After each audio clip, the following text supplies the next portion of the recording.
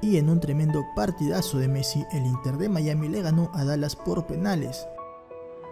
Pese a que mejor fue Dallas, en el Inter estaba Messi, que prácticamente él solo empató el partido.